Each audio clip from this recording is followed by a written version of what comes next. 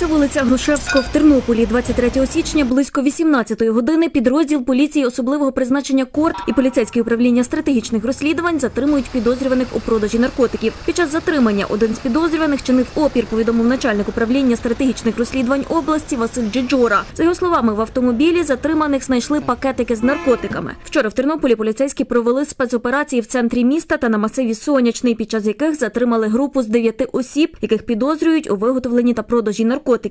Одночасно провели 70 обшуків на території трьох областей Тернопільської, Хмельницької і Київської, де зареєстровані підозрювані. У спецоперації взяли участь майже 100 осіб. Це поліцейське управління стратегічних розслідувань, департаменту внутрішньої безпеки, управління протидії наркозлочинності, слідчі, патрульні поліцейські, спецпідрозділ КОРТ, працівники прокуратури та служби безпеки України. За цією групою поліцейські стежили понад півроку, розповів Василь Джиджора.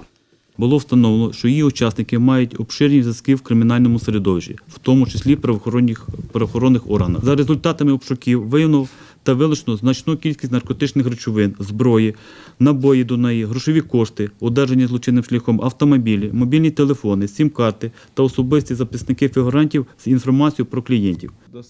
За словами начальника Нацполіції області Олександра Богомола, продаж наркотиків організував 35-річний житель Тернополя, власник одного зі спортклубів. Інші фігуранти справи працівники та відвідувачі цього спортклубу. Метамфетамін виготовляли в гаражах, каже Олександр Богомол. Інші наркотики закуповували в жителів Хмельницької області.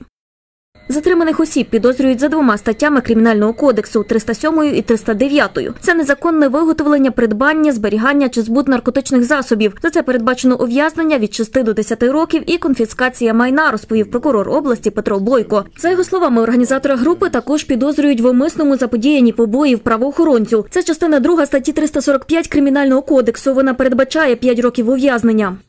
Якраз зараз відбувається процес вручення у встановленому законом порядку повідомлень про підозру.